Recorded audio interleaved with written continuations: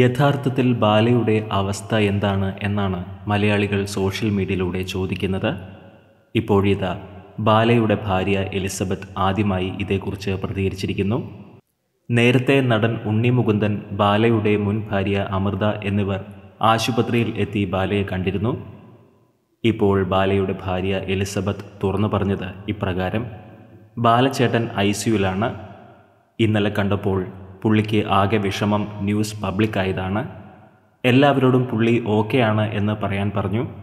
He's A strong person കഴിഞ്ഞ മൂന്ന് നാല് വർഷമായി ഇതുപോലെയുള്ള എപ്പിസോഡുകൾ ഉണ്ടാകാറുണ്ട്.